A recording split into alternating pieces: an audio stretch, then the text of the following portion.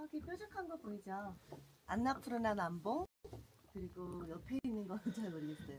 그리고 이쪽에 바로 크게 넓게 보이는 게 다울라기리라고 합니다.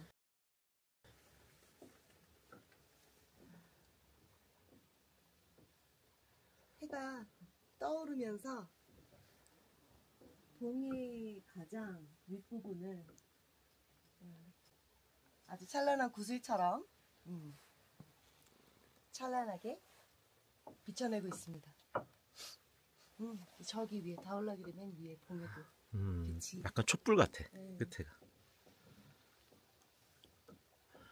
이건 설산 고봉들이 위에가 뾰족뾰족한 부분들이 어, 이렇게 빛나고 있어.